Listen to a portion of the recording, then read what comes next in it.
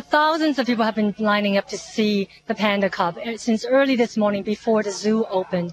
And as of now, I would say several thousand have gone into this panda house behind me where the panda cub is living.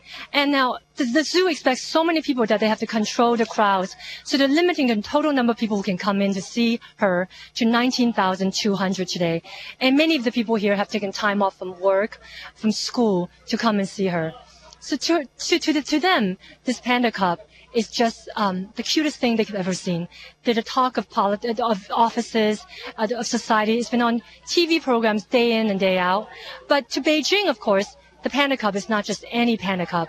Her parents were given to Taiwan in 2008 as a sign of the warming ties between Taiwan and mainland China.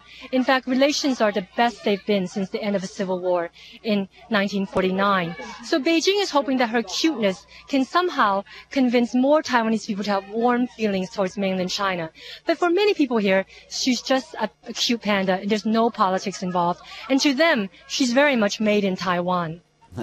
Cindy, I don't want to put you on the spot, but quite often pandas' names have some sort of meaning. Does Yuan Zai mean anything? Is there a particular significance in that name?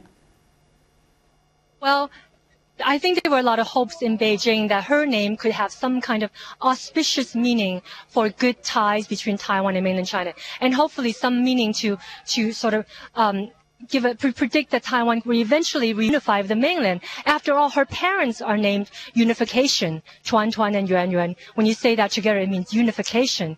But her name is just uh, called Little Yuan, which is after her mother Yuan Yuan. So she's just known as Little Yuan. Okay. There's no politics in her name as well.